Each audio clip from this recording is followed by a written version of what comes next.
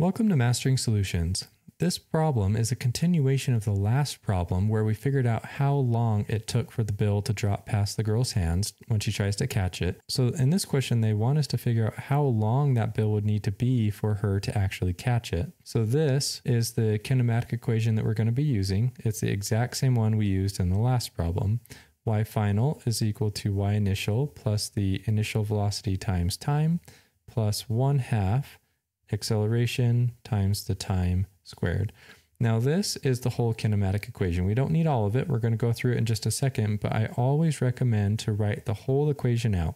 It cements it in your brain, makes you really comfortable with it for the test, and it's really good practice just so that your grader, when they see, oh man, they knew the whole equation, it just puts you in a really good position to get as many points as possible.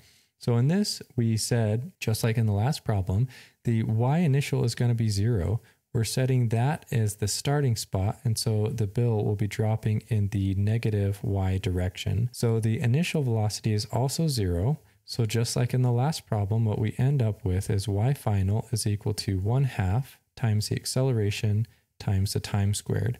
Now there we discussed that acceleration is gravity. It's in free fall. So you can write this one of two ways. You can write it as 1 half times negative g times t squared, or you can write it also as negative 1 half times gravity times t squared. It's the exact same thing. A lot of times when we write the kinematic equations, they'll put this as a negative 1 half gt squared just for the sake of making the equation simpler.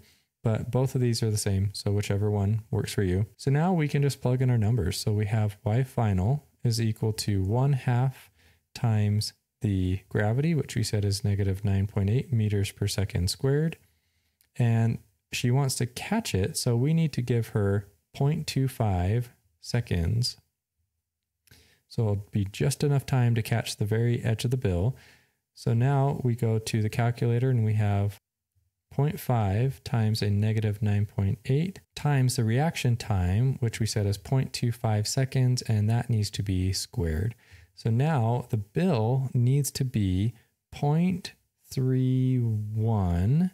So that is 0.31 meters, or in other words, 31 centimeters long for her to have a chance to catch it if we drop it in, in between her fingers.